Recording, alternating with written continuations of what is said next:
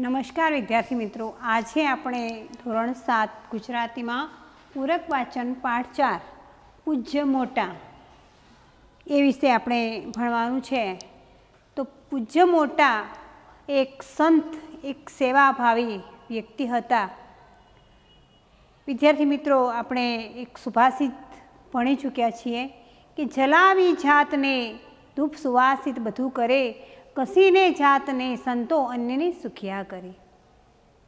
એટલે કે ધૂપ સળી જેમ પોતે બળીને બીજાને સુવાસ આપે છે, પોતાને બીજાને સુવાસ આપે છે, એ રીતે સંતો પણ પોતે દુઃખ વેઠીને, પોતે કષ્ટ વેઠીને બીજાને સુખ આપે છે, બીજાની સેવા કરે છે. આવા જ એક સંત, આવા જ એક સેવાભાવી પૂજ્ય મોટા વિશે આજે આપણે ભણવાનું છે. અને એના લેખક છે કલ્પેશ પટેલ.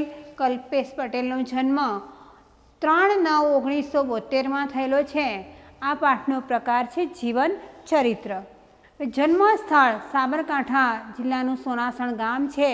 એમણે વાર્તા સંગ્રહમાં વાળ મલાજો, નવલકથામાં શિખંડીને સર અને લઘુ નવલમાં મામાનું ઘર એ એમણે સાહિત્ય આપ્યું છે.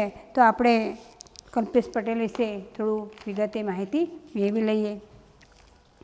સાબરકાંઠા જિલ્લાનું સોનાસણ ગામ, ગામે જન્મેલા કલ્પેશ પ્રભુદાસ પટેલ વ્યવસાય શિક્ષક છે. તેમની લઘુ નવલો એમણે આપી છે. તેમણે પુસ્તકોને ગુજરાતી સાહિત્ય અકાદમીના પારિતોષિક મળેલ છે. કોઈ વ્યક્તિના પૂરા જીવનનો વ્યવસ્થિત ગતિમાં ચિતાર તે જીવન ચરિત્ર જીવન ચરિત્ર હકીકતલક્ષી સ્વરૂપ છે. અહીં આપવામાં આવેલા જીવનચરિત્રમાં લોકસંત પૂજ્ય મોટાના જીવનમાં ડોક્યું કરવામાં આવ્યું છે. સાવ નબળી આર્થિક પરિસ્થિતિમાં પણ આત્મવિશ્વાસ સાથે આગળ વધીને સેવાના ભેગધારી બનેલા પૂજ્ય મોટા મહાન આધ્યાત્મિક પુરુષ હતા. એ વાત આ જીવન ચરિત્રમાં ચરિત્રમાં સુંદર રીતે મૂકવામાં આવી છે. નવી પેઢી માટે પૂજ્ય મોટાનું જીવન સાચે જ પ્રેરણાદાયી છે. તો આપણે વિદ્યાર્થી મિત્રો, આપણે વિગતે એ પાઠ સમજીએ. સંસ્કૃત ભાષામાં સંતોને પરમ હિતકારી ગયા કહ્યા છે? હિતકારી એટલે કે ઉત્તમ હિત હિત ઈચ્છનાર, એને હિતકારી કહેવામાં આવે છે. આપણી ભાષામાં એક કવિએ તો ગાયું છે કે શાંતિ રે પમાડે તેને સંત કહીએ. એટલે કે જે શાંતિ પમાડે એને સંત કહેવાય. સંતો વૃક્ષો જેવા હોય છે. સંતો વૃક્ષો જેવા હોય છે. પોતે તાપ વેઠીને બીજાને છાંયડો આપે. વૃક્ષો કેવા હોય છે? પોતે તડકો તાપ સહન કરીને એના નીચે બેસતાને ઠંડક આપે છે ને છાંયડો આપે છે. ઉનાળા બળબળતા તાપમાં વૃક્ષ પોતે તડકામાં ઊભા રહે છે, પણ એના નીચે જે બેસે છે, એને છાંયડો આપે છે. પથ્થર મારનારને ફળ આપે છે. આપણે વૃક્ષ ઉપર ફળ હોય, પથ્થર મારીએ, તો આપણને એ ફળ આપે છે. સામે પથ્થર મારે છે. માણસને પથ્થર મારીએ, તો સામે પથ્થર આવે. પણ આ તો વૃક્ષો કહેવાય છે કે પથ્થર મારીએ, તો આપણને ફળ આપે છે. માનવ સેવાનું હિત જેમને હૈયે વસ્યું હતું એવા એક સંતની અહીં વાત કરવી છે. એમનું નામ પૂછ મોટા એ વાત સાચી છે કે પૂજ્ય મોટા તો પાછળથી બન્યા. પોતાના ઉમદા કાર્યો થકી, ઉમદા એટલે કે શ્રેષ્ઠ, પોતાના શ્રેષ્ઠ કાર્યોથી તેઓ પૂજ્ય મોટા બન્યા. પહેલાં તો તેઓ, પણ મારી તમારી જેમ સામાન્ય માણસ હતા. પહેલાં તો મારીને તમારી જેમ એ સામાન્ય માણસ હતા. એમનું બાળપણનું નામ ચુનીલાલ ભગત. એમનું બાળપણનું નામ હતું ચુનીલાલ ભગત. વડોદરા જિલ્લામાં આવેલું સાવલી સાવલી ગામ એમનું વતન. વડોદરા જિલ્લામાં સાવલી ગામ આવેલું છે એ એમનું વતન હતું. ઈસવીસન અઢારસો અઠ્ઠાણુંના સપ્ટેમ્બર મહિનાની ચોથી તારીખે જન્મેલા ચુનીલાલના પિતાનો વ્યવસાય રંગાટી કામનો હતો. રંગાટી કામ એટલે કે રંગને લગતું. કલર, રંગે કપડાં એ રંગાટી કામ કહેવાય. તો એ રંગને લગતું એમનું કામ હતું. તેમના દાદા ભાઈચંદ રંગાટી કામ માટે પંથકમાં પ્રખ્યાત. પંથક એટલે કે પ્રદેશ. એ પ્રદેશમાં એમના દાદા છે એ રંગાટી કામ માટે પ્રખ્યાત હતા, જાણીતા હતા. પરંતુ મનુષ્યના બધા દિવસો કંઈ સરખા હોય હોય છે? કે સરખા થોડા હોય છે? દાદાના અવસાન પછી ઘરની સ્થિતિ એવી કથળી કે ન પૂછો વાત. એમના દાદાનું અવસાન થયું અને ઘરની પરિસ્થિતિ કથળી એટલે કે બગડી.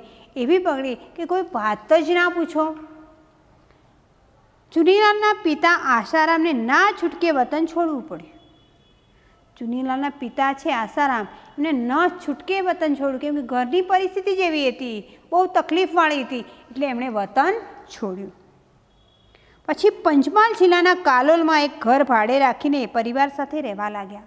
પંચમહાલ જિલ્લાનું કાલોલ ગામ છે, ત્યાં તેઓ એક ઘર ભાડે રાખીને પોતાના પરિવાર સાથે રહેવા લાગ્યા.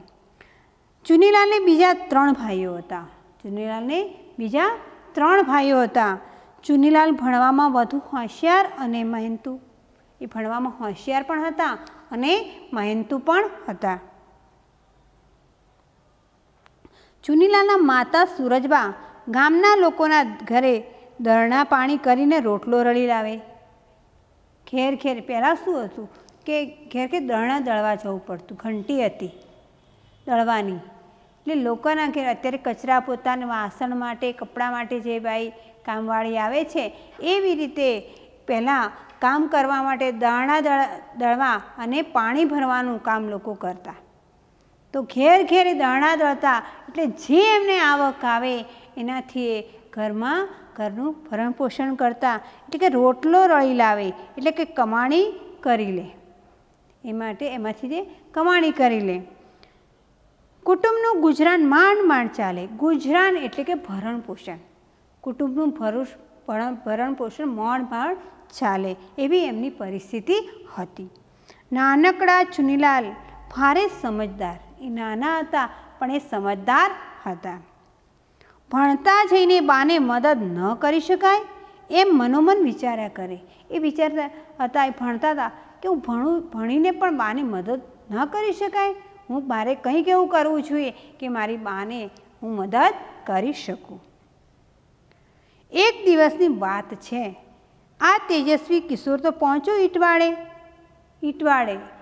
ઈંટવાળી કે જે ઈંટો ઈંટો પકવવામાં આવે છે એ ભઠ્ઠી. આ ઈંટો છે એને પહેલાં માટીમાં, એના બીબા બના બીમાં બંધાવવામાં આવે માટીને, પછી એને પકવવામાં આવે છે. તો એ પીઠવાડે પહોંચ્યો. પઠ્ઠાવાળા સામે છટાથી ઊભો રહીને કે, મને કામ આપો. નાનો હતો, ભણતો હતો. છતાં એને એમ થયું કે, મારે કંઈક મહેનત કરી અને મારી બાને કંઈક મજૂરી કરીને, કામ કરીને મારી બાને મારે મદદ કરવી જોઈએ. એટલે એકવાર ઈંટવાડે પહોંચ્યો.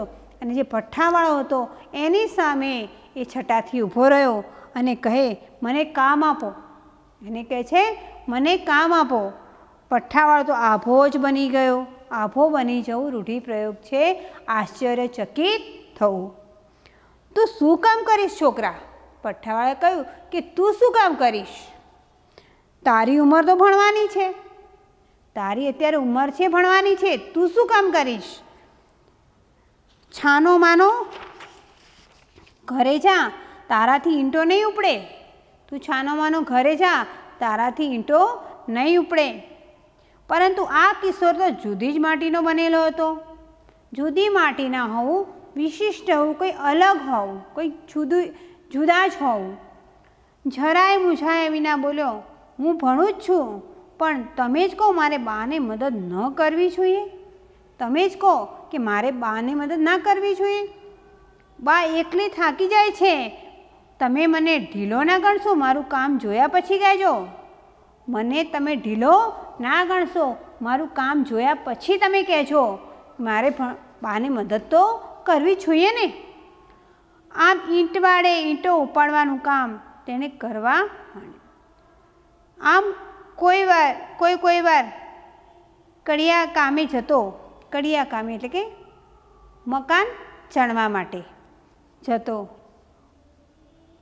અરે, કપાસના કાલા વીણમાંથી માંડીને ખેતરમાં ડાંગર રોપવાનું કામ પણ તે હસે હસે કર્યું. કપાસના કાલા એટલે કપાસના ઝીણવા છે, એને ફોલવા પડે અને એમાંથી રૂ નીકળે.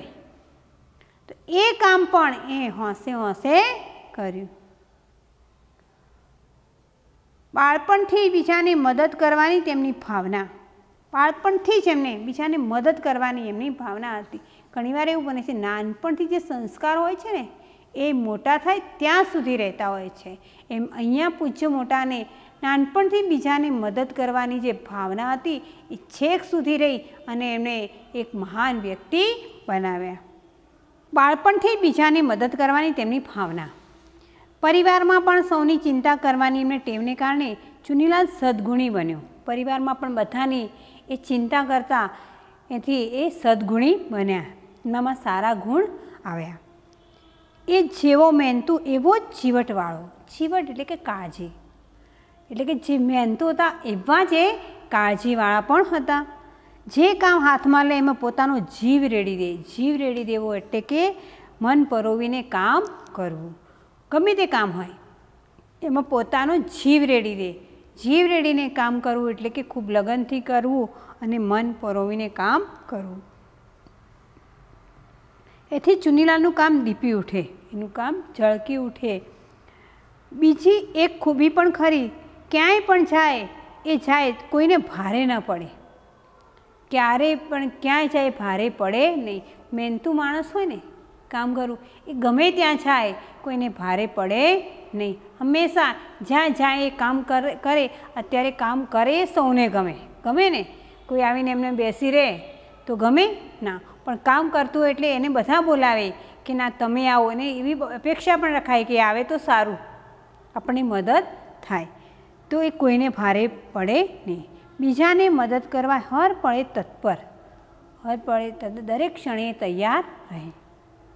ચુનીલાલ મહેનત કરતો ગયો અને ભણતો ગયો. ચાર ધોરણ સુધી એ કાલોલમાં ભણ્યો, પરંતુ આગળ ભણવા ક્યાં જવું? છેવટે ગોધરા ગયો. ચાર ધોરણ સુધી કાલોલમાં ભણ્યા અને પછી એ ગોધરા ગયો. ભણતા જઈને મહેનત કરવાની પોતાની ટેવને વળગી રહ્યું. ભણતા જઈને પોતે મહેનત કરતા ગયા અને પોતાની ટેવને વળગી રહ્યો. એક વેપારીને તે કામે રહ્યો. ચુનીલાલનું કામ જોઈને વેપારી તો રાજીના રેડ થઈ ગયો. રાજીના રેડ થઈ જવું એટલે ખૂબ જ પ્રસન્ન થવું. એનું કામ જોઈને વેપારી તો ખૂબ જ પ્રસન્ન થઈ ગયો. આવો કયાગ્રો છોકરો તો એને મળે જ ક્યાંથી? કયાગ્રો એટલે કે આજ્ઞાકિંત. કયાગ્રો એટલે કે આજ્ઞા. એની આજ્ઞા મુજબ કામ કરનાર છોકરો મળે જ એને ક્યાંથી? પરંતુ ચુનીલાલે, ચુનીલાલને અહીં ન ગોઠ્યું ન ગોઠવું એટલે અહીં ગમ્યું નહીં. ફાવટ આવી નહીં. કારણ કે વેપારી પોતે જ તોલ માપમાં ઘાલમેલ કરતો હતો. તોલ માપમાં ગોટાળા કરતો હતો. લોકોને ઓછું તોલીને આપતો હતો. અને પૈસા વધારે લીધો હતો. એટલે તોલ માપમાં ગોટાળા કરતો હતો. એટલું જ નહીં, ચુનીલાલ પણ પોતાની જેમ વર્તે તેવું ઈચ્છતો હતો. પોતે તો કરતો હતો અને ચુનીલાલને પોતે ત્યાં નોકરીએ રાખ્યો હતો. એ પણ એ કંઈક તોલ માપમાં ગોટાળા કરે એવું એ ઈચ્છતો હતો.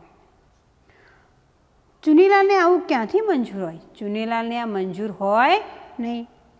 એ તો સતનો વેપારી બનવા માગતો હતો. સત એટલે કે સત્ય. એ તો સત્યનો વેપારી. એને આવું ગોઠે નહીં, એને આવું ગમે નહીં. વેપારીની નોકરીને સ્વમાનભેર છોડીને એણે તો પેટલાદનો રસ્તો લીધો. વેપારીની નોકરી હતી, એ સ્વમાનભેર એણે છોડી દીધી અને પેટલાદ તરફ એ રસ્તો લીધો. પેટલાદમાં ચુનીલાલે આગળનો અભ્યાસ શરૂ કરી દીધો. ચુનીલાલે પેટલાદમાં પછી આગળનો પાછો અભ્યાસ એમણે શરૂ કર્યો. એમના સદનસીબે અહીં પ્રભાબા નામના એક દયાળુ બહેનની પણ મદદ મળી. સદનસીબે એટલે કે સારા નસીબે. એક પ્રભાબા નામના એક દયાળુ બહેનની એમને મદદ મળી. સદગુણી ચુનીલાલ પ્રભાવાના પરિવારમાં દૂધમાં સાકર ભળે તેમ ભળી ગયા. દૂધમાં સાકર ભળે તેમ ભળી જવું એટલે કે સારી રીતે હળીમળી જવું. દૂધમાં સાકર ભળે તે રીતે પડવું એટલે કે સારી રીતે હળીમળી જવું. ભણતો ભણતા પણ તેઓ પ્રભાબાના ઘરના નાના મોટા કામમાં મદદ, કામોમાં મદદરૂપ થતા. ભણતા ભણતા તે પ્રભાબાના નાના મોટા કામ પણ કરતા. એમને એવી આળસ નહીં. નસીબ આડેનું પાંદડું ખસવા લાગ્યું. એટલે કે એમના માઠા જે ખરાબ દિવસો હતા એ દૂર થતા ગયા. ખસવા લાગ્યું હોય એમ અહીં ચુનીલાલને શિક્ષકો અને આચાર્યની મદદ પણ મળવા લાગી. જાણે સારા દિવસો શરૂ થવાના ચાલુ થયા હોય, એ રીતે મેં આચાર્યો અને શિક્ષકોની શિક્ષકોની મદદ પણ એમને મળવા લાગી. વળી જાનકીદાસ જેવા સંતનું હુંફાળું સાનિધ્ય પણ એમને સોંપડ્યું સાનિધ્ય એટલે કે સાથ સહકાર એમને સોંપડ્યો ઈસવીસન ઓગણીસો ઓગણીસમાં ચુનીલાલે મેટ્રિકની પરીક્ષા સારા ગુણથી પાસ કરી. મેટ્રિક એ વખતે અગિયારમું ધોરણ એ મેટ્રિક ધોરણ ગણાતું. મેટ્રિકની આપણે જેમ દસમું બોર્ડ છે, બારમું બોર્ડ છે, એ રીતે ત્યાં અગિયારમું ધોરણ મેટ્રિક ગણાતું અને મેટ્રિકની પરીક્ષા સારા ગુણથી પાસ કરી. ઘણી સંસ્કૃત અને માતૃભાષામાં તો વળી તેમણે સિત્તેર ટકાથી વધારે ગુણ મળ્યા. ગણિત, સંસ્કૃત અને માતૃભાષા ગુજરાતી, એમાં તેમણે સિત્તેરથી વધારે ટકા મેળવ્યા. કોલેજનું શિક્ષણ મેળવવા ચુનીલાલ વડોદરા ગયા. અને એ પછી, પહેલાં છે અગિયારમાં, પછી કોલેજ શરૂ થતી. અત્યારે બારમા પછી છે, એ રીતે પહેલાં મેટ્રિકની તમે પરીક્ષા પાસ કરો, એના પછી કોલેજ ચાલુ થઈ જાય.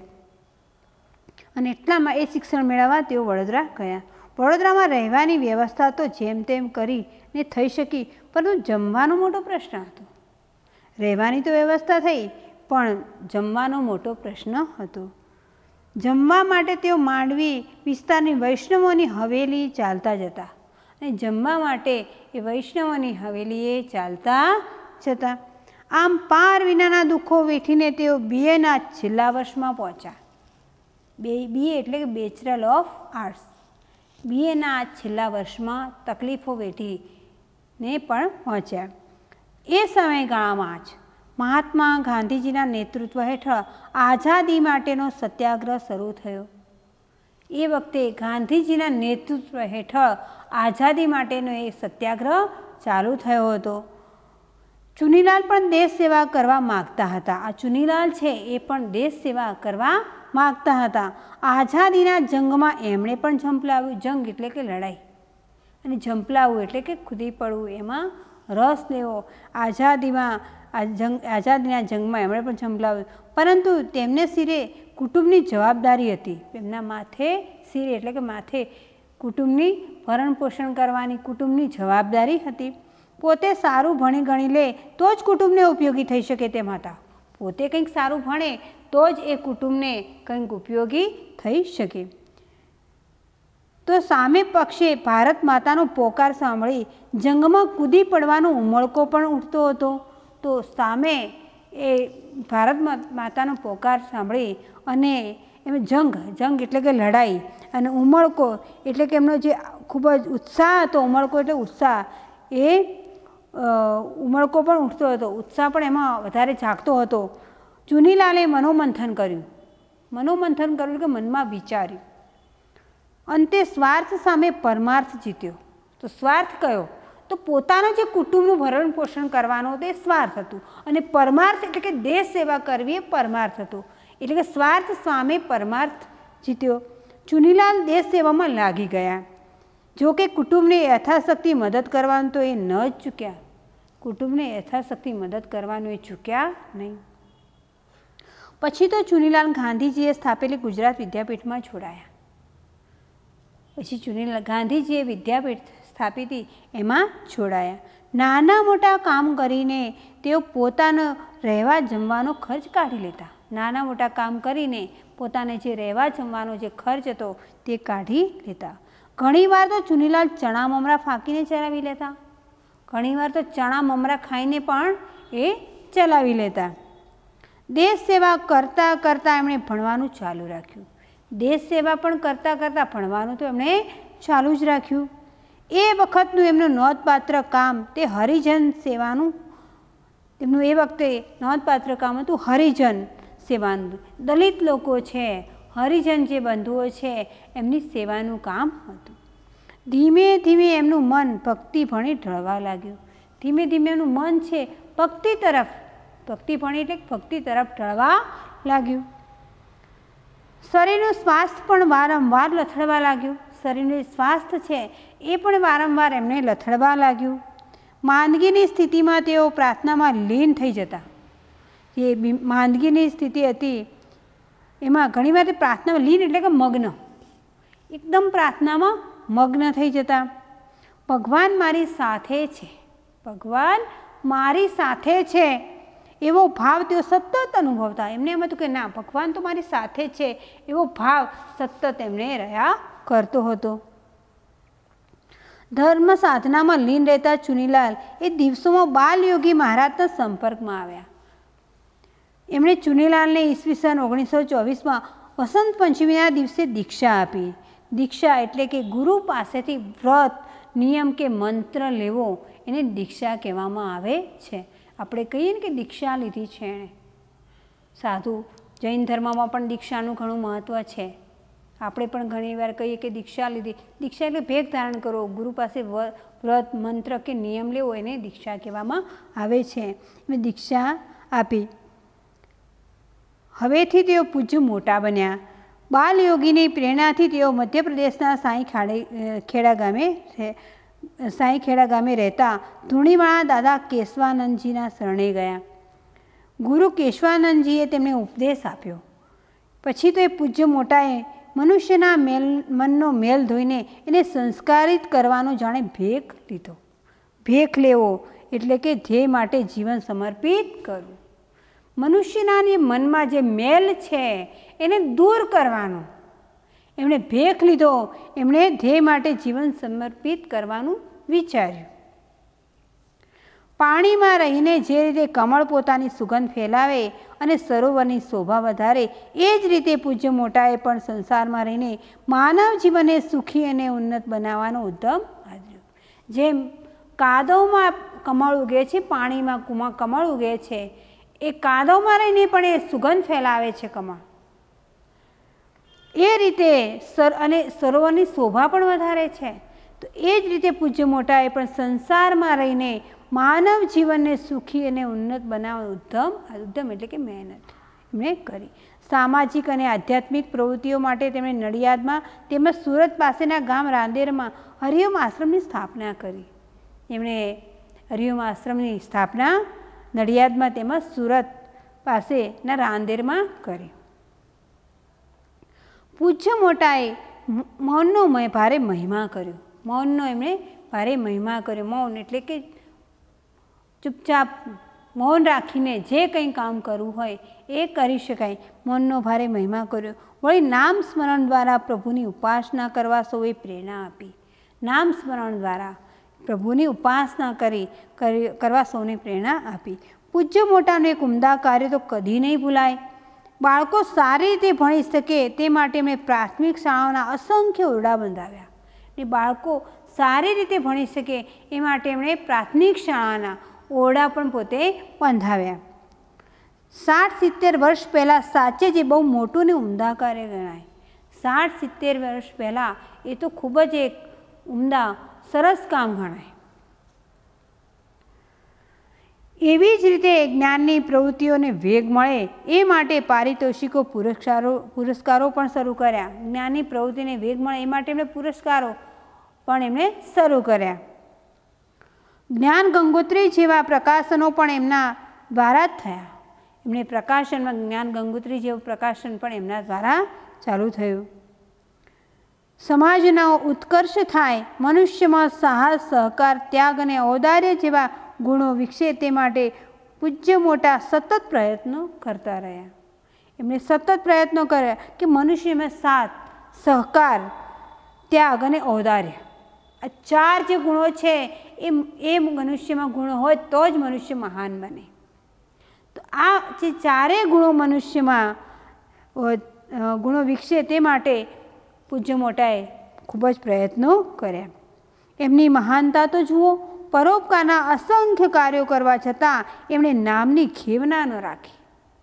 ખેવના ન રાખવી એટલે કે ઈચ્છા ન રાખવી, નામની ક્યારેય એમણે ઈચ્છા રાખી નથી.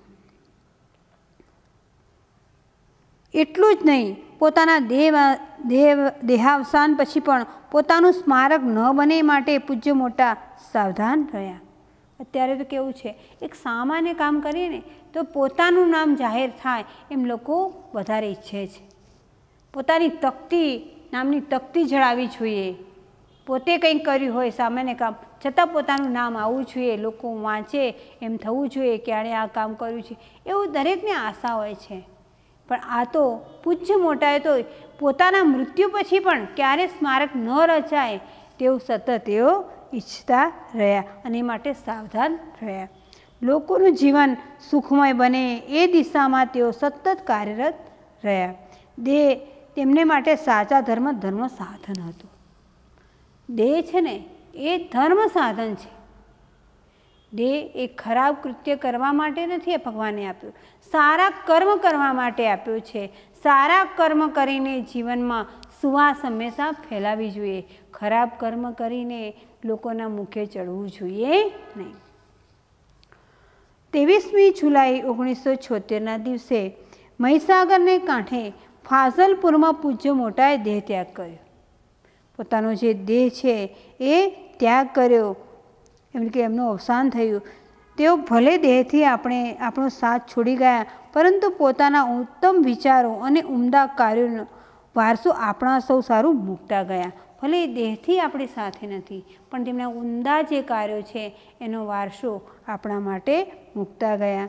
પોતાના પરોપકારના કાર્યો થકી મોટા બનેલા મહાપુરુષને હૃદયપૂર્વકના વંદન, હજુ પોતાના જે પરોપકારના એમણે કાર્યો કર્યા, એ થકી મોટા બનેલા, એ પૂજ્ય મોટાને એ હૃદયપૂર્વકના વંદન હોજો.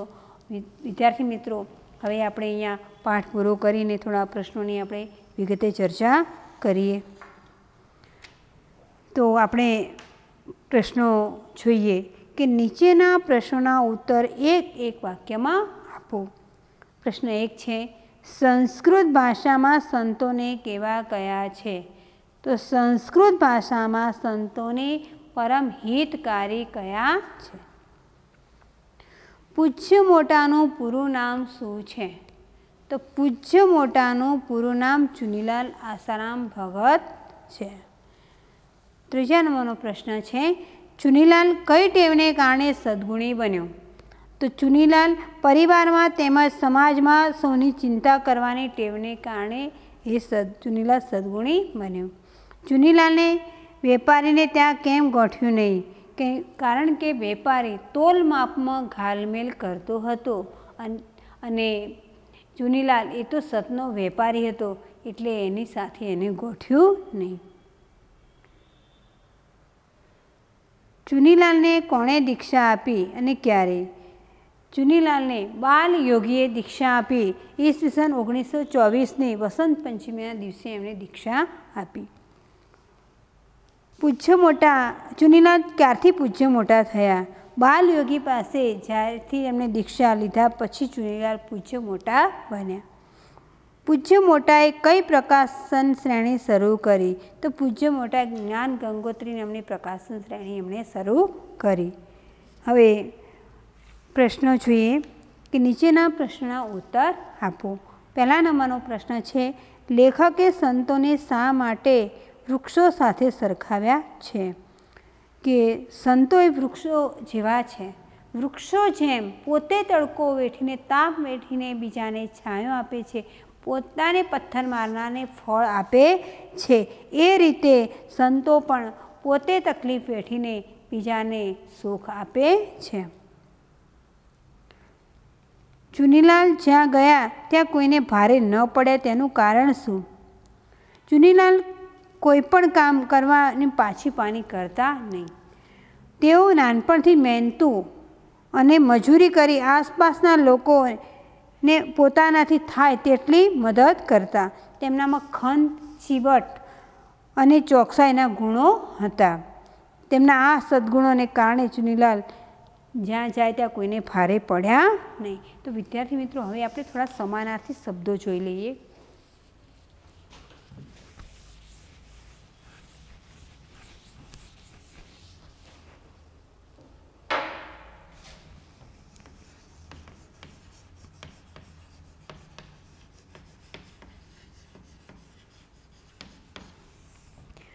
ઉમદા.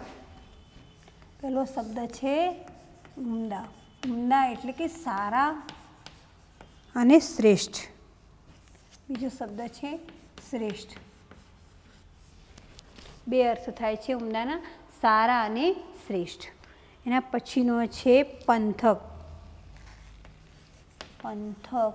એનો સમાનાર્થી થાય છે પ્રાંત અને પ્રદેશ. એના પછીનું છે ટેવ. ટેવનો સમાનાર્થી થાય છે આદત અને લત. એના પછીનો સમાનાર્થી શબ્દ છે ખૂબી. ખૂબી એટલે કે રહસ્ય. રહસ્ય અને વિશેષતા. રહસ્ય અને વિશેષતા. વિશેષતા. એના પછીનો શબ્દ છે ભેખ. ભેખ. નો શબ્દ થાય છે વેશ અને દીક્ષા. સમાનાર્થી શબ્દ બંને, બે સમાનાર્થી થાય છે ભેખનો વેશ અને દીક્ષા. એના પછી છે પ્રેરણા. પ્રેરણા. એનો સમાનાર્થી શબ્દ થાય છે આદેશ અને આજ્ઞા. તો વિદ્યાર્થી મિત્રો, આપણે સમાનાર્થી શબ્દો જોયા અને હવે આપણે થોડાક વિરોધાર્થી શબ્દો જોઈએ.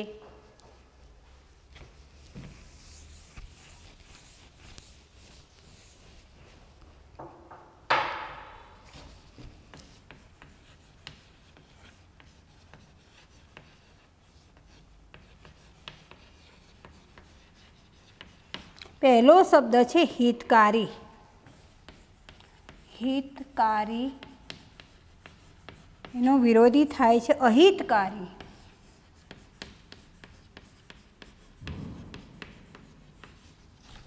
બીજો શબ્દ છે શાંતિ. એનો વિરોધી શબ્દ છે અશાંતિ. એના પછીનો વિરોધી શબ્દ છે મહેનતુ. મહેનતુ તો એનો વિરોધી શું થશે? આળસુ.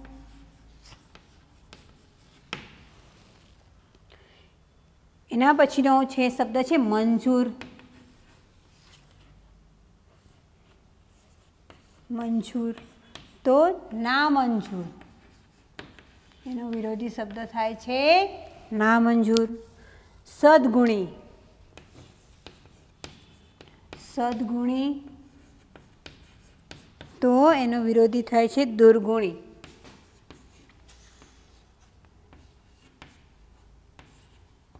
દુર્ગુણી. અને ઉત્કર્ષ.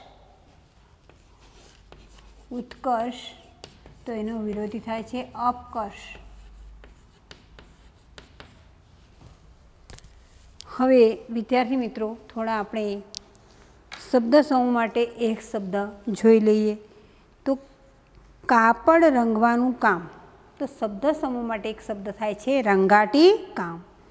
કોઈની સ્મૃતિમાં મૂકવામાં આવતું બાવલું, તો એને કહેવાય છે સ્મારક. પછીનો છે ધર્મનું આચરણ કરવા માટેનું સાધન, તો એનો શબ્દ સમૂહ માટે એક શબ્દ છે ધર્મ સાધન. કપાસના છીંડવા, તો શબ્દ સમૂહ માટે એક શબ્દ છે કાલા. ગુરુ પાસેથી વ્રત નિયમ કે મંત્ર લેવો તે. તો શબ્દ સમૂહ માટે એક શબ્દ છે દીક્ષા. ઈંટ પકવવાનો ભઠ્ઠો. તો શબ્દ સમૂહ માટે એક શબ્દ છે ઈંટવાળો. આત્મા કે પરમાત્મા સંબંધી. તો શબ્દ સમૂહ માટે એક શબ્દ છે આધ્યાત્મિક. તો વિદ્યાર્થી મિત્રો, અહીંયા તમારો આ પાઠ પૂરો થાય છે. તમારે આ પાઠ વાંચવાનો, સમજવાનો અને સ્વાધ્યાય પોથીમાં સ્વાધ્યાય પૂર્ણ કરવાનું અસ્તુ.